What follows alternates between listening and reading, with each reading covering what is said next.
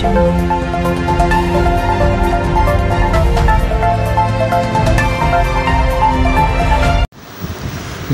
પ્રગતિશીલ ખેડૂતોની સિદ્ધિ એક જ આંબા પર ત્રીસથી વધુ કેરીની જાત ઉગાડી.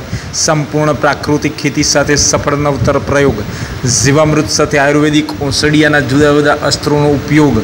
ઇઝરાયલ, ઇજિપ્ત, અમેરિકા, બાંગ્લાદેશ સહિતના દેશોની કેરી સાથે નવાબી કાળની અનેકવિધ જાતોની કેરીઓ એક જ આંબા પર ઝૂલી રહી છે.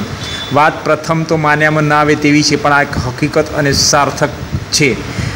ભાલછેલ ગીરના અનોખા ખેડૂત શમસુદ્દીનભાઈએ સાસણ નજીક ભાલછેલ ગીરમાં આવેલ કેસર કેરીના બગીચામાં અનિલ ફાર્મમાં શમસુદ્દીન ઝારિયાએ સરકારી માન્ય જાત રસવાડી જાત, હાઇબ્રિડ જાતની તેમજ દેશી, વિદેશી કેરીઓનું વાવેતર એક જ આંબા પર કર્યું છે. શમસુદ્દીન ઝારિયાએ એક જ આંબા પર એસી કેરીની જાતોનું ગ્રાફ્ટિંગ કર્યું છે. એક આંબામાં છેલ્લા ત્રણ વર્ષથી સોથી વધુ જાતની કેરી ઉગાડવાનો પ્રયાસમાં હાલ તેણે પાંત્રીસ જાતની વિવિધ દેશની વિવિધ જાતોની કેરી ઉગાડવામાં અનોખી સફળતા મેળવી છે.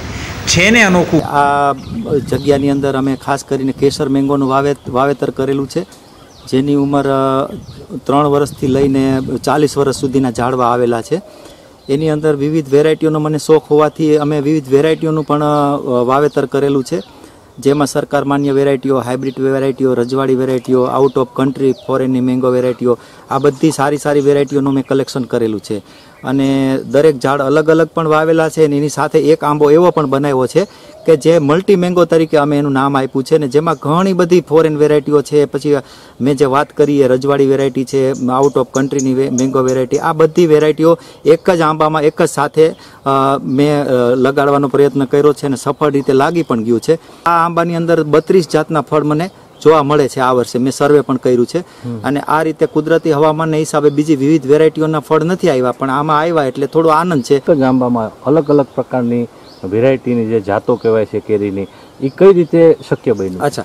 હવે આપણે કોઈ પણ આંબાની છે ને કોઈ પદ્ધતિ આપણે નક્કી કરવી પડે.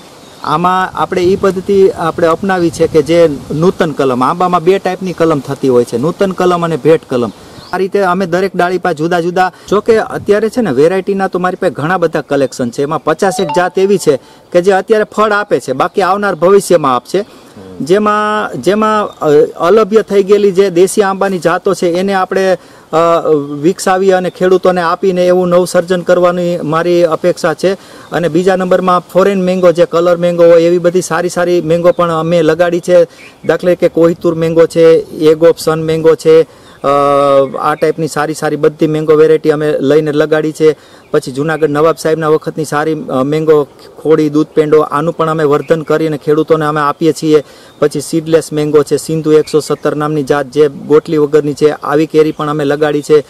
પછી એક જાતનું પણ વર્ધન અમે એવું કરીએ છીએ કે જે ડાયાબિટીસવાળા પણ ખાઈ શકે વનલક્ષ્મી નામની એક જાત છે, એનું પણ અમે વિકાસ કરીને એવી સારી સારી જાતો, વીસ પચીસ જાતો એવી છે કે જે ખેડૂતોને પોસાય એવી છે. દર વર્ષે આવે અને આ ફ્લાવરિંગની સાથે, આંબાના ફ્લાવરિંગની સાથે જે ફ્લાવરિંગ આપતું હોય એ ટાઈપની જેટલી જેટલી મેંગો વેરાયટી છે એ અમે ખેડૂતોને આપવાની કોશિશ કરી છે અમારે નર્સરીનું કામ મોટું છે, એટલે અમે દસ ટકા ક્રોસ વેરાયટીમાં આવી વેરાયટીઓની ભલામણ કરીએ છીએ. જે બાગાયત ખાતાવાળા ભલામણ અમને કરે છે. અમે ખેડૂતોને કરીએ છીએ.